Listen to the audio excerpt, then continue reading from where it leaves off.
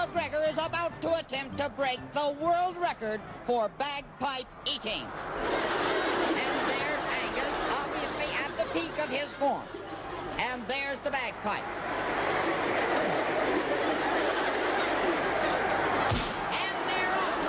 Angus bends back for a tremendous first bite and overhand. Scotsman, oh no,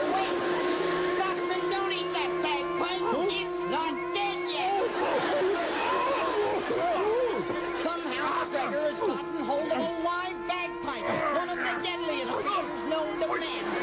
Wait, this is incredible. McGregor seems to be getting the upper hand. Yes, it's true, and here it is, a genuine Highland fling.